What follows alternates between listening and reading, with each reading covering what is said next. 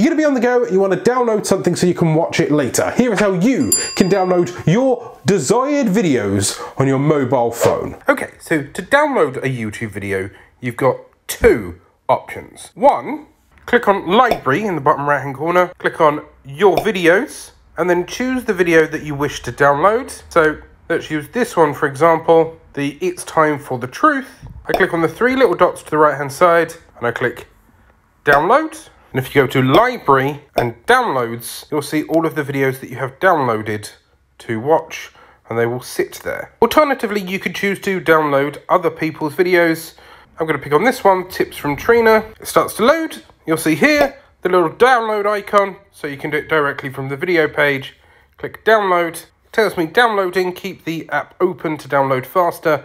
Let it download with the circle. Now, an important thing to note is if you go into your settings and scroll all the way down to downloads, it will tell you you can be recommended downloads.